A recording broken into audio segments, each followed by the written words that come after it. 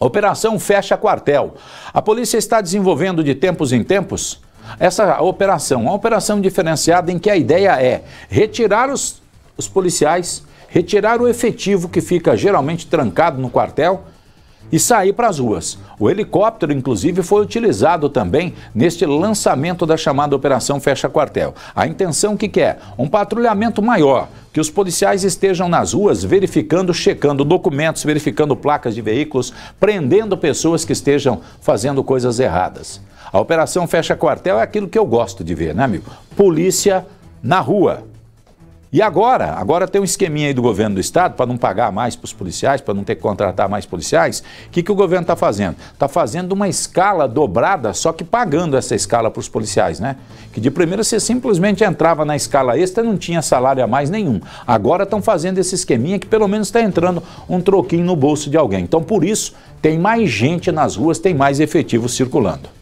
Final da tarde de sexta-feira, 5 Batalhão está realizando o lançamento da operação Fecha Quartel. É um novo lançamento, Coronel? Sim, é um novo lançamento, embora esta operação esteja sendo realizada simultaneamente em todo o estado do Paraná, porque hoje nós já tivemos o lançamento mais cedo, que reforçou o policiamento no anel central com o efetivo do administrativo.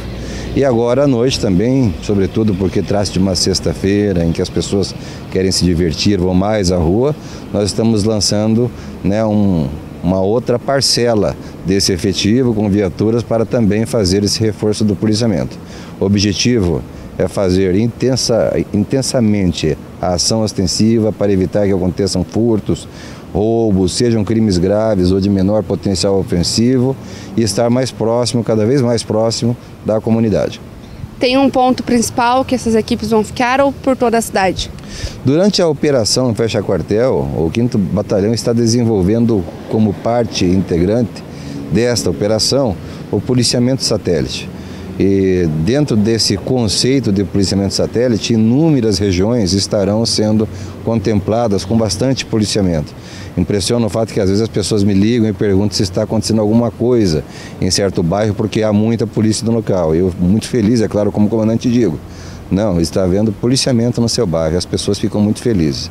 É uma faceta que vem sendo experimentada pelo Comando Geral da Corporação e que tem dado resultados bastante positivos principalmente na qualidade de vida das pessoas.